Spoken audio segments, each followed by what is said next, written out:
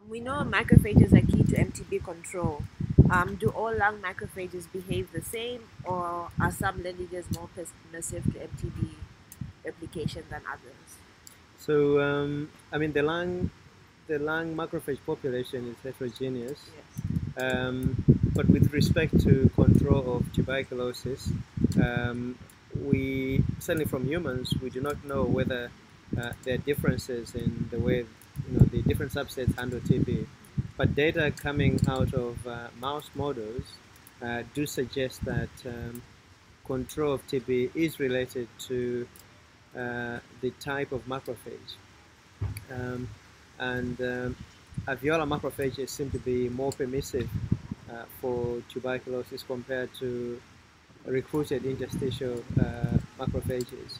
Um, and it does seem as though the difference is probably due to the different metabolic uh, uh, pathways that the organism takes within these cells. Uh, whereby in alveolar macrophages, fatty acid oxidation seems to be the major source of, uh, of, uh, of energy, um, and glycolysis is the major source of energy for the organism in recruited interstitial macrophages. Okay, so you said um, um, oxidation is the main source of energy mm-hmm. for alveolar macrophages. Yes. So how does that make it more permissive So is it a better environment? I think it is. It is a better environment. So we're not. I mean, the, the data at the moment uh, are not very clear on why that is a preferred uh, um, uh, source. But you recall that uh, uh, you know fat use of lipids as a metabolic source um, has been described in, in mycobacteria.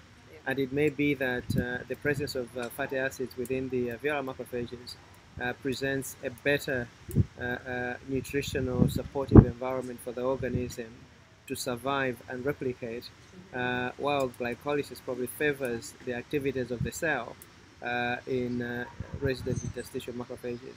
But again, this is an area that is being being looked at to try and understand what are the mechanisms behind the different metabolic environments.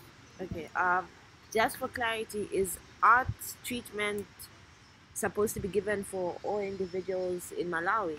Is it the similar policy as yes. in South Africa? So Malawi adopted the test and treat policy, um, I think, uh, sometime last year. Uh-huh. Uh, so, you know, these days, anybody who is diagnosed with HIV starts on antiretroviral therapy uh, almost immediately. So, um, have you done studies on either on HIV positive individuals that are either ART naive or people who have ART in terms of understanding how the alveolar macrophages behave, and do they behave differently in terms of TB co-infection? So we have um, uh, done previous studies uh, which have included HIV infected and retroviral naive uh, and HIV infected uh, individuals uh, at different stages of antiretroviral therapy. Mm-hmm. Um, and the most notable things is that uh, in terms of dysregulation of function of these macrophages, um, it's more profound in those who are antiretroviral naive, but also um, in those who are on antiretroviral therapy for less than four years. But it tends to improve you know, to, to a great extent if you've been on uh, ART for more than four years. Um, now, with respect to TB HIV co-infection, we're actually doing those studies now. Um, we can still find individuals who are antiretroviral therapy naive, um, but most of the individuals we're recruiting are those who've studied antiretroviral therapy, and we're recruiting them within a week of starting antiretroviral therapy um, and comparing those to um, individuals who are on ART for uh, three years or longer. Uh, so we'll be able to uh, say what they or to judge the impact of ART, um, duration of ART uh, on uh, susceptibility to uh, to tuberculosis or the permissiveness of these cells to TB or for TB, um, and whether these data will you know will explain what we observe um, epidemiologically that uh, although antiretroviral therapy reduces the risk of uh, uh, developing active TB, uh, it does not eliminate that risk completely. Yeah. So, you know, uh, watch the space. And so you said macrophages are more dysfunctional in individuals that are HIV positive but aren't naive. That's correct. So when you say in terms of dysfunction, what do you mean? They are they more pro-inflammatory? Are they less?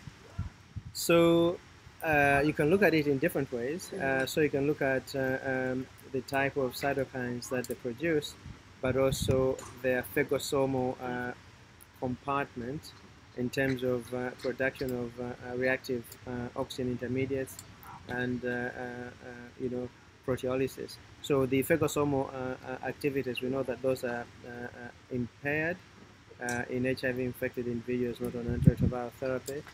The cytokine production uh, varies, uh, but by and large, uh, you have a pro-inflammatory uh, environment in the lung.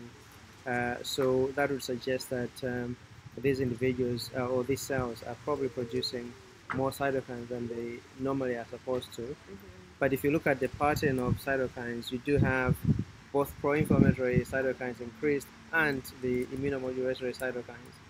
And I think what really matters is, is probably the balance between the two. So although you may have increases in both, but when you start looking at the balance, it may favor the uh, environment whereby you have inhibition of the function of these cells.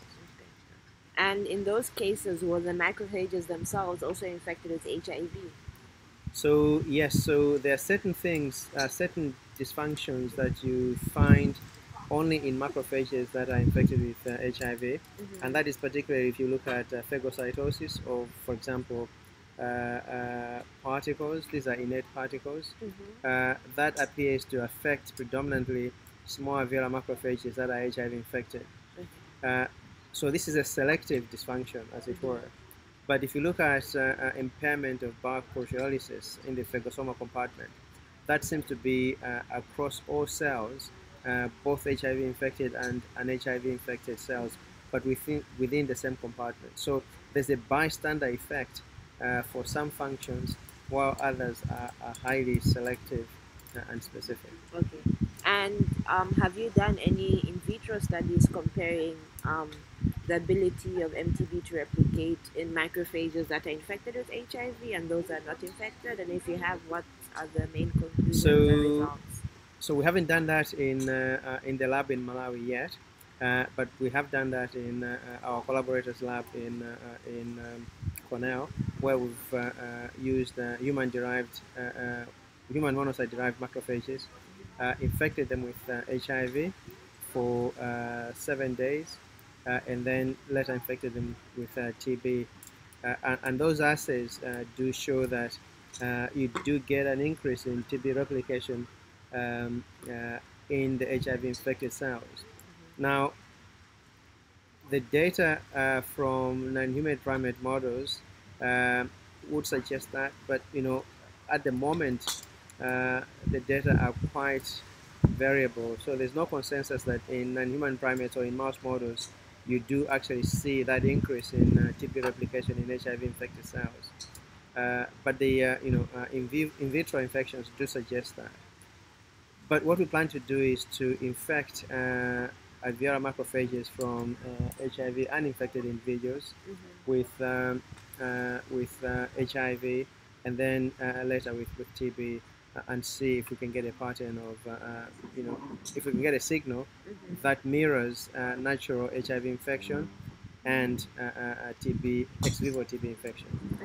Um, thank you very much for accepting to be interviewed by me. You're welcome. Thanks.